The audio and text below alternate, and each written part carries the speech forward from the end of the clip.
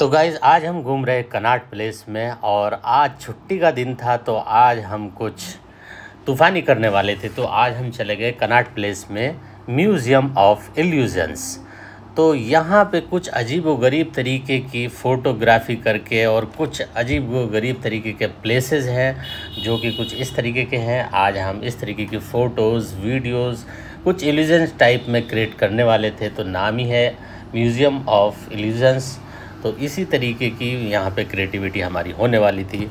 तो हमने एंट्री ले ली और अपने हाथ में लगवा लिया बैंड तो हमारे जो टिकट थे वो चार लोगों के सत्ताईस सौ के पड़े थे और सबसे पहला जो हमने किया एक्टिविटी वो है रिवर्स्ड रूम तो रिवर्स रूम कुछ इस तरीके का होता है, इसमें एक ऑटो है, जिसकी फ़ोटो कुछ इस तरीके की आती है। सिंपल कुछ उस तरीके का था और अब इस तरीके का है। तो उसके बाद हम गए एक टनल में, जो कि एक ड्रम टाइप की है और बीच में एक रास्ता है।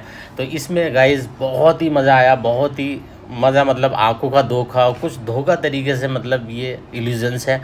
ऐसा है कि जब हम इस रास्ते पर चलते हैं और नीचे को देखते हैं तो उसके बाद में ऐसा लगता है कि ये जो ड्रम है, ऊपर से जो घूम रहा है, ये रुक चुका है और हमारा जो रास्ता है, वो घूम रहा है। तो उससे बड़ा मज़ा आता है मतलब ऐसा लगता है जैसे गिर जाएँगे हम। उसके बाद में हम गए टिल्टेड रूम में जो कि कुछ इस तरीके का दिखता है। और जब हम इसकी फ़ोटोग्राफी करते हैं तो कुछ इस तरीके का होता है कि हम इतना टिल्टेड हो जाते हैं बिना किसी सपोर्ट के।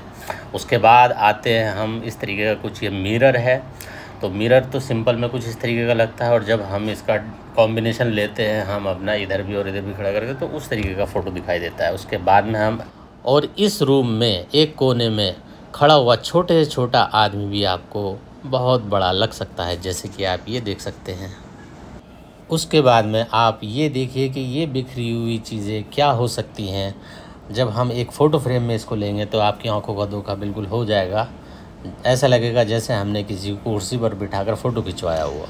उसके बाद में कुछ ऐसी इमेजेस थी, दो इमेजेस जो कि देखने में छोटी और बड़ी लग रही हैं। और जब हम इसको, इसके हिसाब से नापते हैं तो सबसे पहले हम जब हम इसको इसके ऊपर रखते हैं तो ये बराबर लगता है।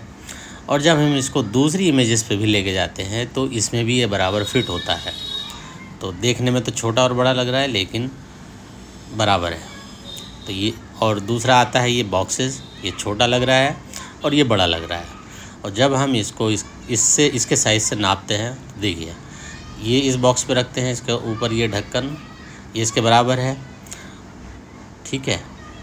उसके बाद में जब हम इस बॉक्स के ढक्कन पर भी इसको रखते हैं तो ये भी बराबर हो जाता है। तो ये भी कुछ इस तरीके का इल्यूज़न से देखने में छोटे और बड़े लग रहे हैं, लेकिन जब हम इसको मीज़र करते हैं इसके हिसाब से, उसके बाद में ये आता है गाइस इधर की साइड से तो ये एक पिरामिड की तरीके से लगता है ट्रायंगल लगता है, और जब हम दूसरी तरफ़ से इसको देखते हैं तो ये स्क्वायर की शेप ले लेता है। इमेज एक ही है, लेकिन जब हम इनको डिफरेंट डिफरेंट साइड से देखते हैं तो इनकी इमेजेस भी डिफरेंट डिफरेंट हो जाती हैं। तो ये भी एक इल्यूज़न था।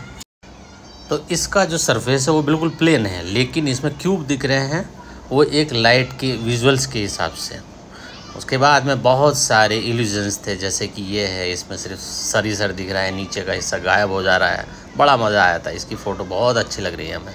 और ये भी एक इल्यूजन्स है, यहाँ पे एक इमेजेस है। बहुत सारे यहाँ पे दिख रहे हैं। ये भी कुछ इस तरीके के इल्यूजन से फ़नी इमेजेस बहुत सारी यहाँ पे एक्टिविटीज़ वाली थी।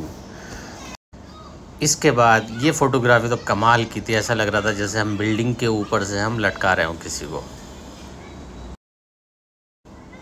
और लास्ट में जब आप इनके एलिविज़न से इंस्पायर हो जाएँ तो एक स्टोर है। यहाँ पे कुछ अजीब गरीब की कि यहाँ पे चीज़ें मिलेंगी आपको। तो यहाँ पे आप ले सकते हैं। जैसे कि ये लट्टू है।